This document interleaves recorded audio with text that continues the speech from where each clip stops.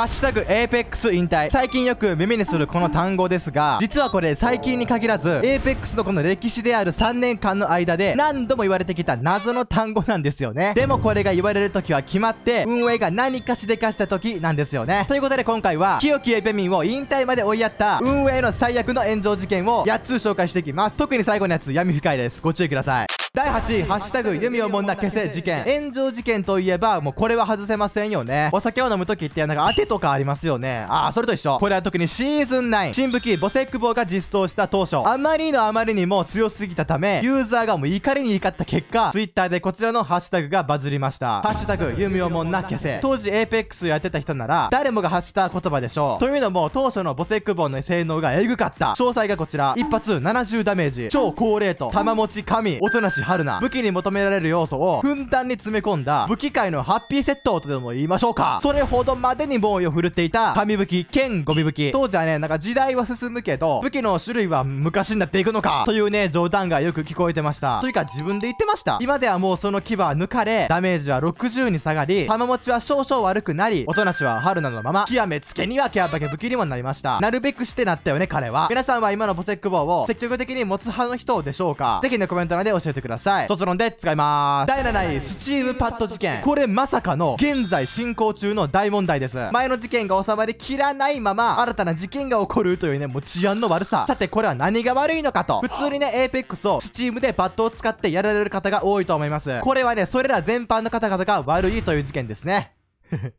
いやいや、いや、嘘ね。なんと、スチームって、かなり細かく、あの、パッドをセッティングできるんですよ。まさにそれが悪さしてて、そこのところを、まあ、ちょちょいとなんかいじってやると、なんと、お手元のパッドが、バケモンに生まれ変わります。そう、なんと、エイムアシストあり、タップストライプ可能、まさにパッドのいいところ、キーマウのいいところ、それらのいいところもなんかもう、ガってできちゃうわけ。これがどんだけやばいかというと、対面した敵が、タップストライプでギュンギュン飛んで、エイムアシストでズバズバ当ててくる感じ。勝てようがないわけよ。でも、幸い、競技シーンではこれ禁止されてますので、大会でそれを見ることはない。でも我々はいつも遊ぶカジュアルやランク、これでは普通にあの、はびこり回っております。で、ちょっとこの出来心というか、興味本位で、このパッドであの、ストレーフをする方法を試してみました。ああ、動画のためにね。あの動画のためにね。いや、気になるでしょ。どんなもんか。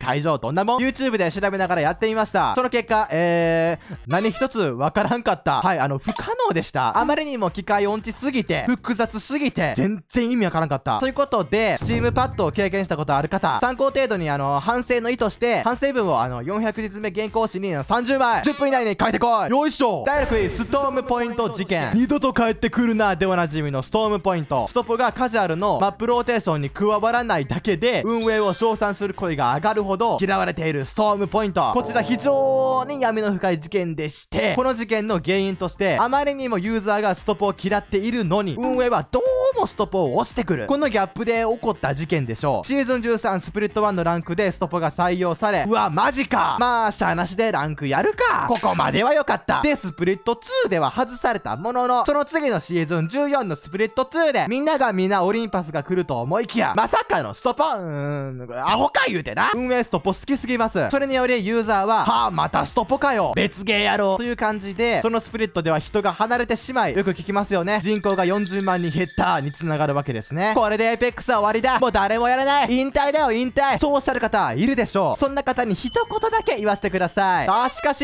いや、嘘嘘嘘。実際の数字をもとに言わせてもらうと、毎回それくらい、あの、減ってます。はい。というのも、そもそも、APEX をプレイする人口が多いので、40万人前後の、なんか、減少や上昇は、多々なんですよね。でも、なぜ今回、大々的に減少した人数が大っぴらになってるのか。それは、APEX 自体の配信が減ったから、これに限ると思います。確かに、まあ、体感 APEX の配信自体が減った気がしますよね。まあ、ボトカさんも、まあ、たまにはしてくれますが、頻度は減りました。毎月サブスクしてます。坂さんも関さんも、ほぼやらなくなりました。ということで、終わりだ終わりもう誰もやらねえよああ、終わった終わった。引退や引退でも、バトロワでしか補給ができない栄養ってのがあります。では今、バトロワゲーをするなら、何をするでしょうか？フォートナイト、いな。PUBG、いな。公約、ウォーゾーン、いな、いな、いな。そう、圧倒的に APEX。もはやバトロワゲーの完成形である APEX に帰還する。ということで APEX はバトロワ界では未だ最強ということですね。そうバトロワ界では。第5位ハッシュタグ視野おもんな消せ事件。現在進行中です。APEX シーズン15スプリット1現在。新マップブロークンムーンが登場し今までビクともしなかった視野最強環境が変わると思いきや何も変わっとらん、うん、今だまだまだ視野に加えホライゾンは最強レジェンド構成となっております。ランクやってたらどのチームにも入ってますよ。視野視野視野例外なくシアシアシア助けてくれ。でもこれ実はあの過去にも存在していたんですよね。皆さん記憶に新しいでしょう。バルキリー最強時代。長らく続いた時代でしたが今はもうだいぶ丸くなりました。そうシーズン13までは。さてシーズン13言い換えればバルキリー最強シーズンでの登場したスパレジェは何だったでしょうか。そうです。バルキリーのスパレジェスザク。おやおやおや。これ今と同じ道辿ってる気しません？周りより突出したレジェンドにスパレジェを与える。はい現在のシーズン15の新スパレジェは今のところシアであるとほぼ確定しております。決定事項です。抗いません。さて勘のいいガキの皆さん。鳥肌を押さえていただいていいですか？バルキリーのスパレジェが登場した後に来た。レジェンド調整がまさに今の丸くなった。バルキリーを作り上げました。そしてユーザーは当時せっかくバルキリーのスパラジを買ったのに途端に弱体化かよ。相当炎上しました。ええ。しかも現在視野には弱体化の恐れがあるとかないとか。炎上読み炎上。絶対に炎上する。第4位結局金ですか？事件。こちら直近で起こりました。シーズン15が開幕すると同時に新たにあのシステムが登場しました。まあいろいろありますけどあれですよ。あれそうステッカー。いつもお世話になってます。医療キットシールドバッテリー。あの殺風景な回復物資にステッカーがあの貼れるようになりました。えー、株式会社だからなんやねん設立しました。そのステッカー言うてみればどうでもいいものをいちいち追加してレジェンドの調整もせずましてや新たにギフト機能を追加しとうとうお金にしか目がいかないようになりましたかと相当炎上しました。てかしてます。てかしてました。実際シーズン15現在ではステッカーを凝ってるかと聞かれると APEX スキン大好きオタクである俺でも無視するほどの存在の薄さ。皆さんはステッカー設定してるでしょうか？あるいはステッカーガチャ引きましたでしょうか？俺はこれについては無視するつもりでいきますね。シールドバッテリーが映えるステッカー。やりません。医療キットが映えるステッカー。やりません。フェニックスキューやりません。運営のためにもこれには課金しないように。第3位玉抜け事件。これかなりヤバめですよ。太古の昔シーズン後のコレクションイベント。失われた財宝にて登場したあのスキン。レースのスキンである冷酷な女神が、えー、しでかしました。というのも何が原因なのか知らないんですけどこのスキンをつけているレースは異常なまでに玉抜けしてたらしい。玉抜けというのは弾が当たってるはずなのに弾が当たってない判定になるあれねまあ、通常ラグとかで発生するはずなんですがまさかのこのスキンをつけてる時も発生したというね。これがなかなかに厄介だったらしくてかなりの高確率で玉抜けが起こってたらしい。なので当時 APEX をやっていたプレイヤーはこのスキンを見るだけでトラウマが蘇るって人もいるらしい。これ自分まだ APEX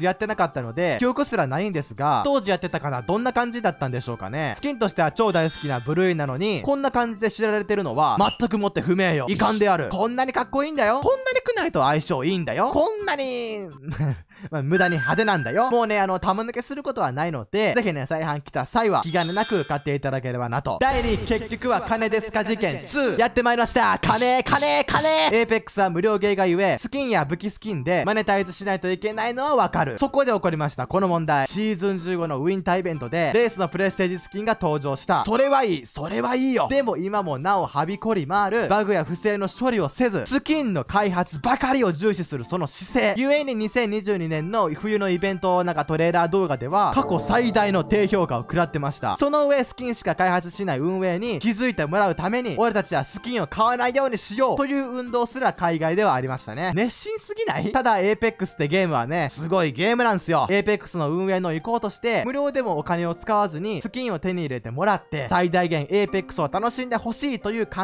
えがあるらしい。あああったらしい。なのであれでしょあのクラフトメタルとかレジェンドトークンとか無料パックとかね無課金でもスキンを手に入れるチャンスが結構多いんですよ。なのにもかかわらず、Apex の運営元 EA が開発元であるリスポーンにあのゲームの開発よりスキンの開発に注力せよというね感じであの指示してるそうで、バグについてはまあ、反認識はできてるんですけど、処理する時間がないと。そういう感じなんですよね。早く運営にはこういうバグをみんな直してほしいですね。まあ俺としては、スキンの開発してくれるのはネタが増えるからいいんだけど、